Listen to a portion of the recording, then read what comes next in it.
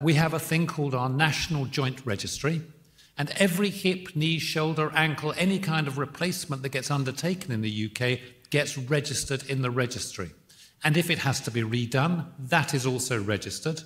And every year, every surgeon in the UK is sent a detailed 25 page report detailing every aspect of their work, including their revision rates, infection rates, complication rates, the outcomes of their surgery, how satisfied their patients are, etc. Now, that has produced a large data set.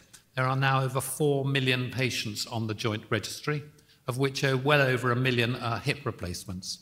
And that, by looking at what's happening year on year at revision rates, allows us to see that as time goes by, the rate at which hips are being revised is getting less.